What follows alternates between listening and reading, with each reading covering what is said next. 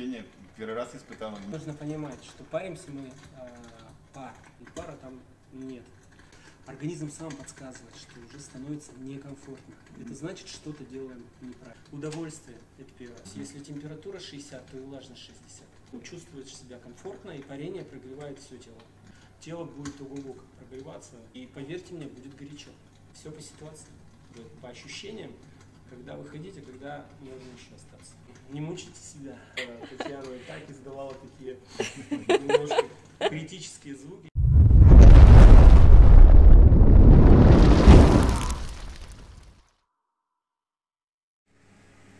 Усадьба Хлыновская. Сегодня мы паримся здесь. Банная печь. Скорее всего тут типа паровоза, снег. Готовлю, да, холодные венички для того, чтобы голова у вас была в прохладе, а тело мы будем греть. Это будет очень комфортно. Жарко, ощущение не будет жары. Так вот, заходов у нас будет 5. Так, сделали уже 4 захода. Да, сейчас крайний. Сейчас последний крайний, Самый интересный. самый жесткий, можно можно сказать. Ну, будет нормально. Не будет что-то такого нетерпимого, все будет комфортно. Лежим в домике перед, перед куском от снега. Здесь снег. Домик делаем из холодных веников. Дышится легко, но здесь вот нагоняется под потолком очень, очень жестко. Но тем не менее ты чувствуешь себя как бы в комфорте. Ждем перерыв минут 7-10 и последний заход. Так, попарились 5 заходов. Все супер. Па- Парилка, хоть и металлическая печка, но пропарился хорошо. Мы сегодня посетили усадьбу Хлыновскую, где познакомились с очень замечательным пармастером Денисом. Саш, как твои ощущения после парения? Я такие ощущения первый раз испытал, не думал, что можно так попариться вот в таком духе, получить такие, такой заряд энергии, прямо отдохнул э, от души. Все супер, понравилось. Денис, ну поделитесь секретами. А, очень много людей забегает в парную на две минутки попариться и сразу выскакивают и считают при этом, что они все это делают все правильно. Но вы говорите, что это не совсем верно. А как же правильно? И в чем вот самый самый классный момент вот вашего парения? В чем секреты вашего парения? Секреты парения, их очень много, конечно, все это можно узнать, это есть в книжках, в интернете, это несложно. Ну, главное, нужно понимать, что паримся мы э, пар. Знаете, что это же такое пар? Должен идти пар. При высоких температурах, как правило, влажность низкая, и пара там нет. И мы в сухости махаем вениками, от этой никакой пользы для организма тоже не, не приносит. Приносит только вред, я думаю, и дискомфорт. Очень важное правило – это комфорт. Если в парной человеку некомфортно, организм сам подсказывает, что уже становится некомфортно. Это значит, что-то делаем неправильно. Ну, то есть надо сидеть в парной, не напрягаясь. Да, да, конечно. Это Чтобы должно приносить удовольствие, это первое. Ну и, конечно, никакого вреда. Не нужно в крайности погружаться в температурные или в какие-то... Средняя температура 70-60 градусов.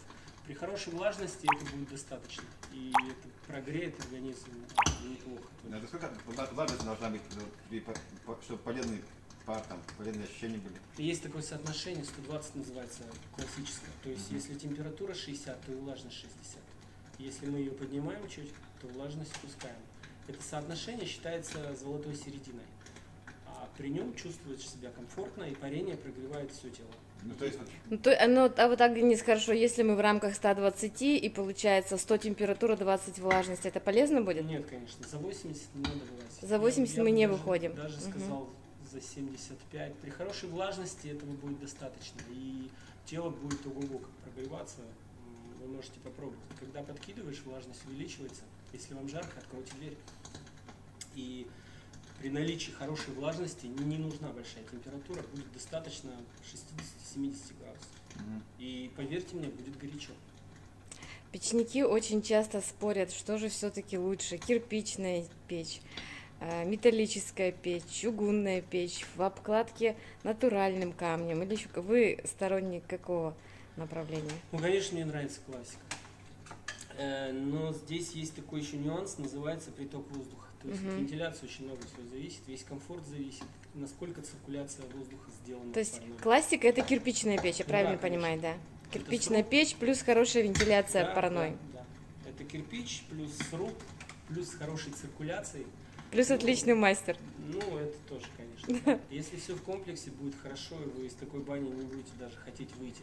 А когда делают термос, то есть нет ни выхода, ни входа, одна дверь, Мгм. там становится дискомфортно. Если еще металл нагревается, он выжигает кислород, дышать становится тяжело, кислорода не хватает. Становится дискомфорт.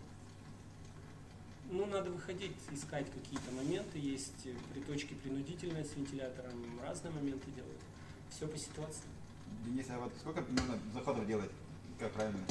Ну, все зависит тоже от человека. У некоторых э, здоровье не позволяет, поэтому можно потихонечку, побольше перерыва. А так, в течение часа несколько заходов, в принципе, этого достаточно. По 5-7 минут э, не борщить с температурой, с, э, с мастером, если заходите, он вам всегда скажет, что достаточно. Он сам чувствует по ощущениям, когда выходите, когда можно еще остаться. Ну и вы тоже должны подавать признаки. То есть, если вам дискомфорт у вас какой-то начинается, не нужно ничего терпеть, просто выходим и все. Ну, все понятно. Денис, очень часто вы сталкиваетесь, наверное, раз- развенчиваете мифы о парении. Что бы вы хотели вообще порекомендовать э, всем тем, кто, может быть, не знает о парении, но просто любит баню? Э, какой-то опыт передать, может быть? Рекомендации? Не мучайте себя. Э, Вам организм сам подскажет. Чувствуете? Ну вот Терпеть я не нужно. слышала, что вот эффект тигровой кожи, наоборот, считается, что вот все классно, круто А попарился. Я сейчас внедряться в медицину, я могу Мгм. это все объяснить, да, это надолго просто будет. Это неправильно.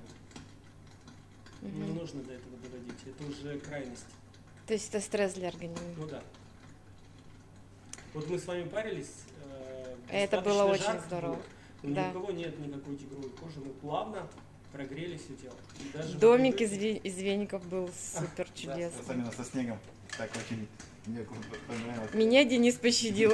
Да, Мне я- я достаточно вам- было Я, воды. я вам, да, я домик делал, потому что Татьяна и так издавала такие немножко критические звуки. Я думал, так, наверное, мы потихонечку будем.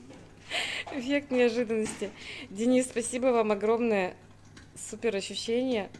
Вообще прям отдых, блаженство. Благодарю, благодарим вас за да, ваш с труд. легким- С легким паром приходите, пожалуйста, в, э, в усадьбу на Москве, все будет хорошо. Да, супер. Спасибо, Да. спасибо огромное. Спасибо большое. Мы продолжаем отдых в усадьбе Хлыновской. И Вот здесь такой бассейн. Он градусов 26-25. Здесь вот чуть-чуть по- потеплее, градусов 30. После парной массажа заходим в хамам погреться. Хамам такой вот. Нагреется.